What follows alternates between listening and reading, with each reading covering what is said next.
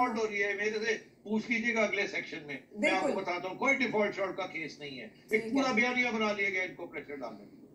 ठीक है। एस्टेब्लिशमेंट के कहने पर अगर ऐसे नापसंदीदा फैसले किए गए तो फिर हिमायत की कोई गारंटी क्यों नहीं मांगी गई? ऐसे कच्चे इकदाम क्यों किए गए जो कि बाद में गले को आ रहे हैं?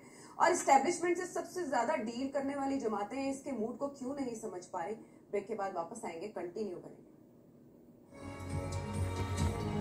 शो एक बार फिर खुश आमदेद मिफ्ता इस्माइल साहब हमें मीशत के हवाले से यकीन दहानियाँ करा रहे हैं कि नेक्स्ट वीक तक सिचुएशन जो है वो स्टेबल हो जाएगी, रुपए के ऊपर जो दबाव है वो भी कम हो जाएगा और कीमतों में जो इजाफा हो रहा है, बेलगाम हो रही है महँगाई। अगले चंद हफ्तों में उस पर काबू पा लिया जाएगा। लेकिन सिटी साहब ब्रेक पर जाने से पहले आपने कहा कि जिस अफरा तफरी में इन बेचारों को आना पड़ा रिस्क लेना पड़ा, वो कोई डिफ़ॉल्ट का खतरा नहीं था। तो फिर ये बला गले में क्यों डाली सबने मिलकर?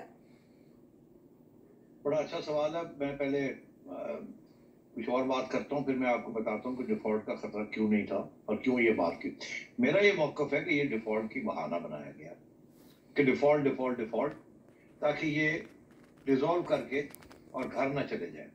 अगर ये उस वक्त पंद्रह दिन के बाद, आने के बाद कीमतें बढ़ाने से पहले, ये अगर उस वक्त दो तीन कानून बदल के और रिजॉल्व करके घर चले जाते, उस वक्त इनकी पॉपुलैरिटी सौ में से सौ थी। और इमरान खान की पॉपुलैरिटी जो थी वो सौ में से ज़ीरो थी। उस वक्त अगर कोई इलेक्शन होती तीन माह के अंदर अंदर, इमरान खान ने उड़ जाना था। क्योंकि उस वक्त सिर्फ़ इमरान खान का ट्रैक रिकॉर्ड था चार साल का। इनका कोई ट्रैक रिकॉर्ड नहीं था। इनका तो पुराना ट्रैक रिकॉर्ड था, जो कि बड़ा अच्छा था। तो इनको चाहिए था कि उसके घर चले जाते और फिर जाके इलेक्शन लड़ते। मगर इनके ऊपर दबाव डाला एस्टैब्लिशमेंट ने कि आप रहें, आप पूरी टर्म कंप्लीट करें। आप इस क्राइसिस को हल करें।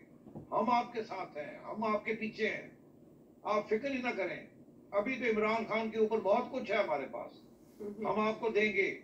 हम्म। वगैरह वगैरह वगैरह। मैं आपको अंदर की बातें बता रहा हूँ। हम्म। अब बात यह है कि इनमें से लोग ऐसे थे जो चाहते थे कि यार चलो कुछ झूले ही ले लीए ऐसी। चलो यार ऐसी अच्छा। पंद्रह दिन वास्ते आके की करांगे? ਉਹ ਯਾਰ ਰਹਿ ਜਾਓ ਅਗਰ ਉਹ ਕਹਿੰਦੇ ਨੇ ਕਿ ਕਰੋ ਤੇ ਅਸੀਂ ਕਰੀਏ ਨਾ ਨੈਸ਼ਨਲ ਇੰਟਰਸਟ ਹੈ हम तो बड़े पेट्रियाटिक लोग हैं तो मिनिस्ट्रियां भी मिल रही ने अल्लाह अल्लाह खैर सल्ला एस्टेब्लिशमेंट भी बड़े अच्छे तलकात हो गए ने मजा ही आ गया है गुड ओल्ड डेज मैं आपको बता रहा हूँ हाँ। इनका तो इन्होंने इनको मियाँ नवाज शरीफ ने कहा कि देखिए घर आए हाँ। इन्होंने लंदन जाके बड़ा वहां रोना धोना किया हम्म। कि नहीं जी ये हो जाएगा मुल्क डूब जाएगा अगर हमने छोड़ दिया फलाना हो जाएगा वो बदनामी हो जाएगी डिफ़ॉल्ट हो जाएगा डिफ़ॉल्ट हो जाएगा डिफ़ॉल्ट हो जाएगा। उसकी तस्वीर भी जारी की गई थी उदासियों से भरी। और डार साहब और मियाँ साहब कहते रह गए कि कोई खतरा नहीं है डिफ़ॉल्ट का और हमें बिल्कुल कीमतें नहीं बढ़ानी और आप घर आए। हम्म। इन्होंने फिर कहा अच्छा जी ठीक है जैसे आप कहते हैं। ये वापस आके तो इन्होंने मौलाना फजल और जरदारी साहब से बात की उन्होंने कहा कोई ज़रूरत नहीं जाने की। अच्छा। हम डर जाते हैं हमें मिनिस्ट्रियाँ मिली हुई है ये हम टैकल करते हैं सब कुछ। वो उनको तो कोई फ़र्क नहीं पड़ता ना बदनामी तो नून लीग की हो रही थी। हम्म। उनको तो झूले मिल रहे थे उनका तो फॉरेन मिनिस्टर बन रहे थे इधर आ रहे थे जा रहे थे। हम्म। उनको क्या था? तो जरदारी साहब तो चाह रहे थे कि जी मेरे थोड़ी सी वो हमें और मिले कुछ। तो इन्होंने फिर कहा मियाँ नवाज़ शरीफ साहब को जी वो पीडीए वाले नहीं बनते।